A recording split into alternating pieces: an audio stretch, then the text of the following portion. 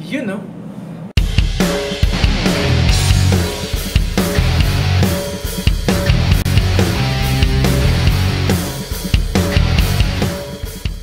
Hi guys! So, welcome sa channel ko at nagbabalik na naman ako para gumawa na naman ng another video.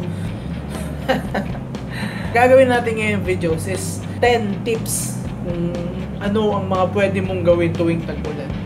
Itong 10 tips na to, ito lang naman yung mga common na na-observe kong ginagawa ko at ginagawa rin ng karamihang tao, karamihang Pilipino. Kapag tag-ulan, diba? O yan. Tara na. Let's go!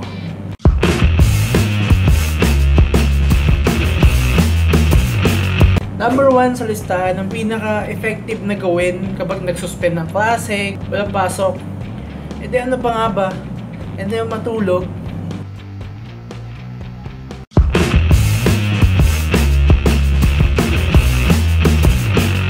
Number two, ang pinaka-masarap gawin din tuwing tag-ulan is yung iinom ka ng kape, sobrang init, kasi sobrang lamig ng panahon, nag-uulan, pwede kang humigop ng kahit na anong sabaw. Yan, number two.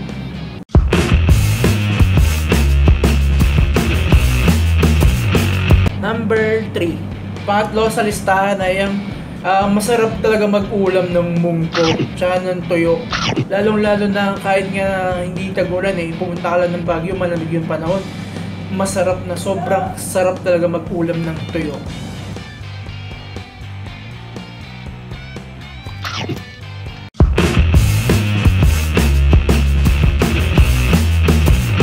Number 4. So yun, kung empleyado ka naman at hindi ka na estudyante na hindi ka nakasali sa suspension ng klase, pagpasok mo ng work, so pwede ka naman magdala ng kahit na anong gamit mo, no? Na para sa tag-ulan, di ba? Payong, kapote sa mga nagmumotor, extra t-shirt pag nababasa ka, pinela, slippers lalo na sa mga bahain. Pero hanggat may iwasan na hindi lumusong sa baha, sana maiwasan, di ba? Para safe tayo sa mga sakit.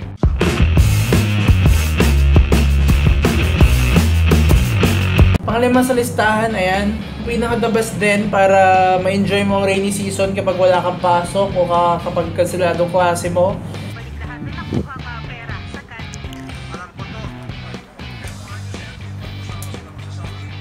Yan. Pwede ka manood ng kahit na ano mong gusto mong panoorin, movie, cartoons, o ano man yan, TV. Yan. So, yan. Isa pa yan.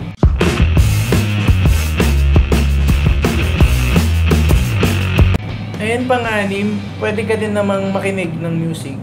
So kapag tag-ulan, ang ginagawa ko, piniplay ko yung cellphone ko sa playlist ng River Maya,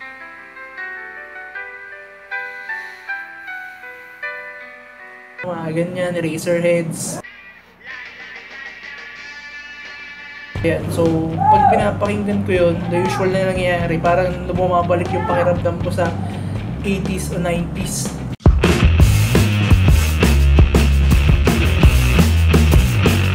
Isa pa sa pwede mong gawin kapag nag-uulan. So, syempre, malamig ang panahon. Masarap mag... Ano na? Ayan, mag-S. Mag-S. Mag-soup. Ang utak nito, oh. Yun na nga kayo.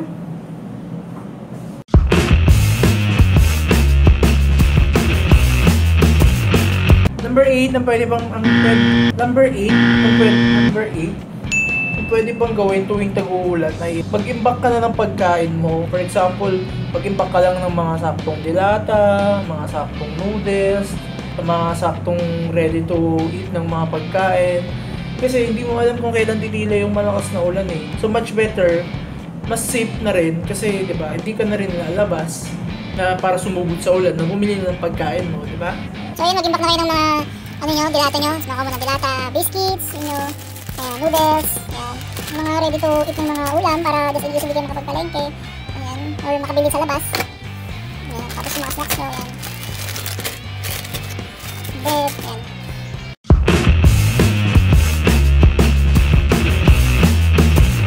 Number 9, so ayan.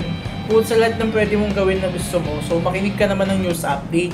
So pakinggan mo rin, lalo na pag may bagyo, di ba? So papakinggan mo din kung anong signal na sa, sa lugar ninyo, ano yung mga ilog na posibleng mag-collapse, mga ganun, yung mga flash flood na areas, landslide na areas. So, yun yung mga babantayan din pag nag-uulan, di ba?